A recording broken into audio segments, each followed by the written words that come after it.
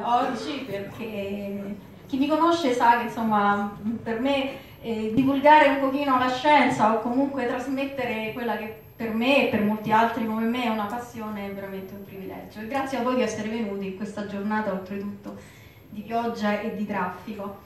Allora, eh, cercherò di spiegarvi qualcosina, mm, cercherò di usare un linguaggio molto semplice e poi ovviamente sarò a disposizione per domande e chiarimenti. In questa diciamo, prima trasparenza vedete bene il titolo della mia relazione e vedete delle foto aeree di tre rivelatori gravitazionali dei quali appunto oggi capiremo qualcosina di più.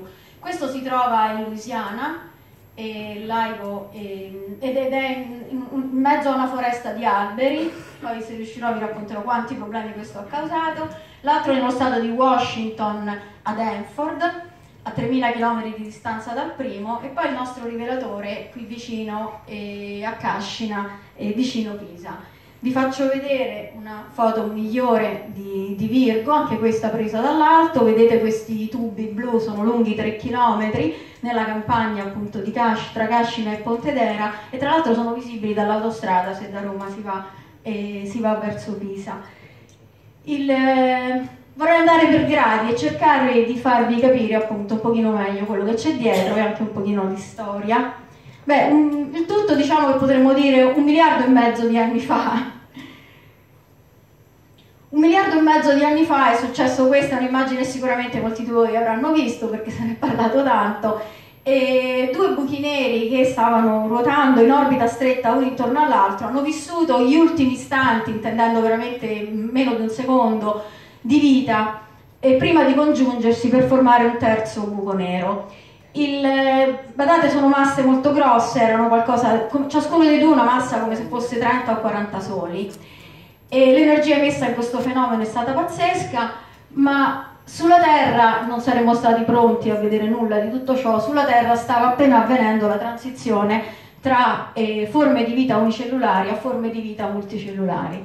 Il segnale gravitazionale emesso da questi due eh, oggetti ha iniziato quindi un viaggio che è appunto durato un miliardo e mezzo di anni. Vediamo noi come ci siamo preparati e quindi andiamo sulla Terra, molto più tardi ovviamente, me, mentre il nostro segnale sta viaggiando, sta viaggiando. E sulla Terra gli uomini, eh, come facciamo tutt'oggi per fortuna, si interrogavano sull'origine della vita, su che cos'è l'universo, sulle leggi mh, della, sulla Terra.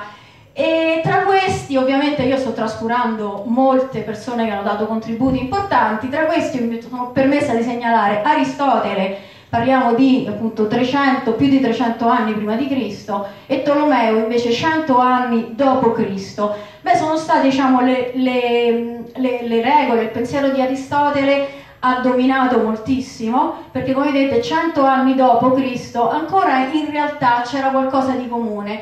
Guardate, io qui eh, um, non voglio puntare tanto il fatto eh, sull'idea di Aristotele e ripetuta da Tolomeo che la Terra sia al centro dell'universo e che tutto il resto gli giri intorno, quanto su un'altra cosa molto importante, il fatto che le leggi che valgono sulla Terra sono diverse dalle leggi che valgono al di fuori della Terra. Quindi noi non possiamo capire nulla sul moto delle, di questi astri attorno a noi eh, eh, lavorando con il nostro pensiero sulla Terra.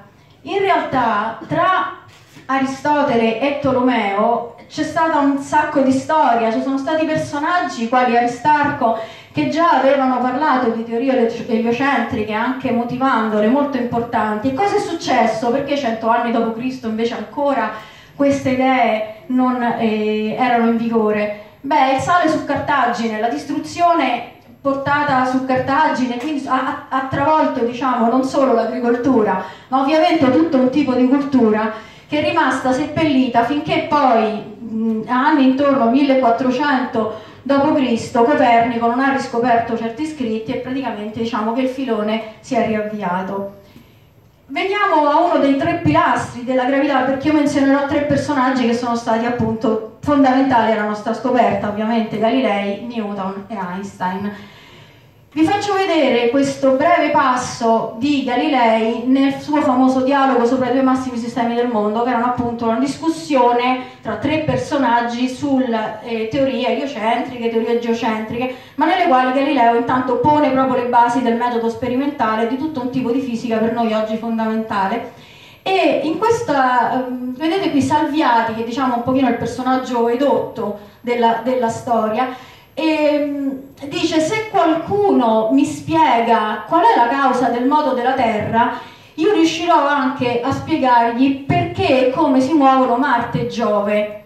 E Simplicio gli risponde, ma lo sappiamo tutti, è la gravità. Cioè la gravità comincia per la prima volta in questo scritto di Galileo, senza nessuna dimostrazione, ad avere un ruolo fondamentale, quel qualcosa che regola le leggi della fisica sulla Terra, ma anche al di fuori della Terra.